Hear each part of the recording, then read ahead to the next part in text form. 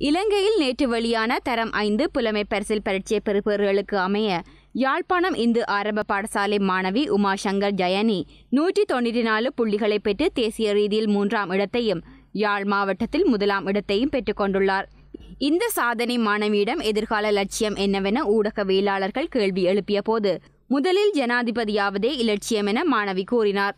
என்னுடைய பெயர் உமாசங்கர் ஜெயனி. நான் யாழிந்த ஆரம்ப பாடசாலையில் கற்கிறேன். இ- இம்முறை நடைபெற்ற புலமை பரிசில் பரீட்சையில் நான் நூற்று தொண்ணூற்றி நான்கு புள்ளிகளை பெற்று யாழ் மாவட்டத்தில் முதலாம் இடத்தையும் வடமாகாணத்தில் இரண்டாம் இடத்தையும் பெற்றுள்ளேன். இவ்- இப்படி பெற்று பெற்றுள்ளதை நினைத்து நான் மிகவும் பெருமை அடைகிறேன். எனக்கு படிப்பித்த ஆசிரியர்கள் அனைவர்கள் அனைவருக்கும் எனது மனமார்ந்த நன்றிகள். என்னை பெரிதும் ஊக்குவித்த எனது தந்தைக்கும் என்னை எப்பொழுதும் தனது கண்காணிப்பில் வைத்திருந்த தாய்க்கும் எனது அம்மம்மா தாத்தா ஆகியோருக்கும் எனது மனமார்ந்த நன்றிகள். நான் எதிர்காலத்தில் இந்நாட்டின் ஜனாதிபதியாக வர வேண்டும் என நினைக்கிறேன்.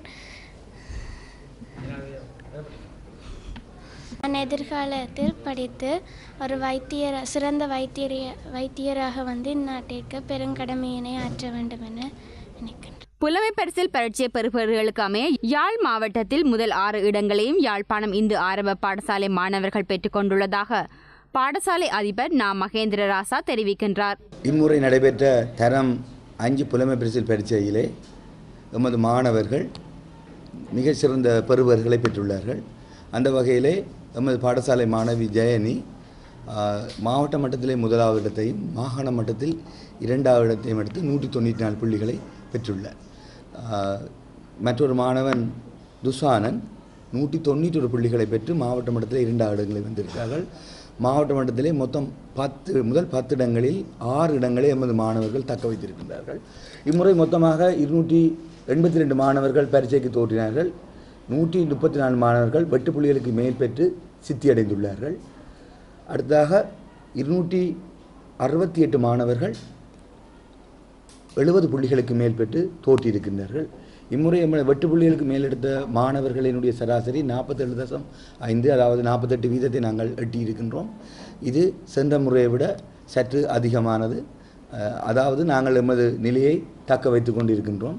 யாழ்ப்பாணம் இந்து ஆரம்ப பாடசாலையைச் சேர்ந்த கேதிசன் துஷானன்.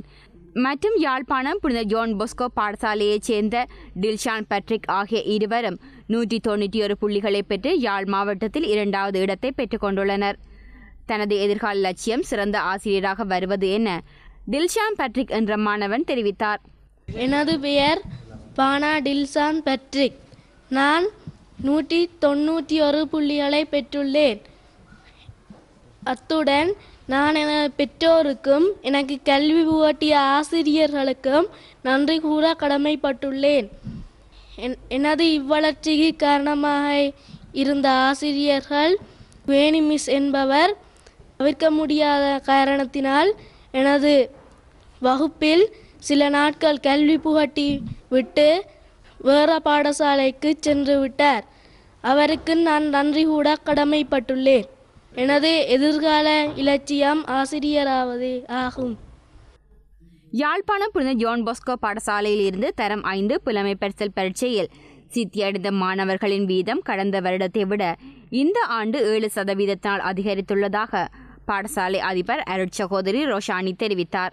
எங்களுடைய பாடசாலையில் இருந்து இருநூற்றி ஐம்பத்தி நான்கு மாணவர்கள் இந்த பரீட்சைக்கு தோற்றி அதில் நூற்றி அறுபத்தி ஒன்பது மாணவர்கள் வெட்டுப்புள்ளிக்கு மேலே சித்தி அடைந்துள்ளார்கள் நூறுக்கு கீழே நாலு மாணவர்கள் எடுத்திருக்கிறார்கள். நூறுக்கு மேலே இருநூற்றி ஐம்பது மாணவர்கள். எங்களுடைய வீதம் சித்தி வீதம் அறுபத்தி ஆறு தசம் ஐந்து. போன வருடத்துடன் ஒப்பிடுகின்ற பொழுது ஏழு தசம் நான்கு ஏழு வீதம். நாங்கள் கூட இருக்கின்றோம் வளர்ந்திருக்கின்றோம் என்பதை சொல்லிக் கொள்வதில் நான் பெரும் மகிழ்ச்சி அடைகின்றேன். போன வருடம் இருநூற்றி இருபத்தி ஏழு மாணவர்கள் தோற்றி நூற்றி முப்பத்தி நான்கு பேர் சித்தி அடைந்துள்ளனர் வெற்றிக்கு முயற்சி பாதி தெய்வ சக்தி பாதி என்பார்கள். எங்களுடைய மாணவர்களின் இந்த வெற்றிக்கும் ஆசிரியர்கள் எடுத்த முயற்சியோடு தெய்வத்தினுடைய ஆசீர்வாதமும் எங்களோட கூட இருந்ததை நாங்கள் உணர்கின்றோம். ஆகவே இந்த பாடசாலையில் மேலும் வளர்ச்சி பெற எங்கள் ஆசிரியர்கள் தரம் ஒன்றிலிருந்து ஒவ்வொரு ஆசிரியரும் அர்ப்பணிப்போட செய்ததன் பயன் விளைவுதான் இந்த பரீட்சை முடிவு. தொடர்ந்தும் இந்த பரீட்சையில் எங்களுடைய மாணவர்கள் தோன்றி இன்னமும் அதிக சாதனைகள் சா பெற நான் வாழ்த்தி நிற்கிறேன்.